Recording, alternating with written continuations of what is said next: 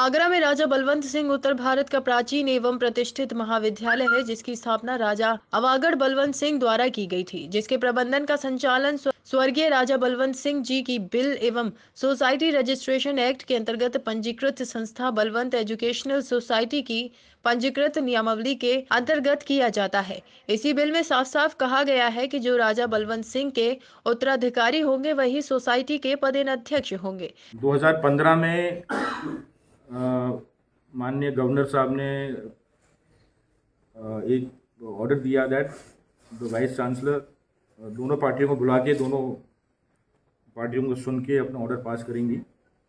उसके आधार पे हमारा जो कमेटी ऑफ़ मैनेजमेंट है, हमको अप्रूवल दिया गया फ्रॉम द वाइस चांसलर फिर इनने अपील की, फिर भी वहाँ हारे गवर्नर के यहाँ। हमारा मैनेजमेंट अप्रूव हुआ हुआ उस समय प्रोफेसर मुजम्मल थे। में अभी विनय पाठक जी थे। देखते रहिए डीबी भारती समाचार नज़र हर खबर पर।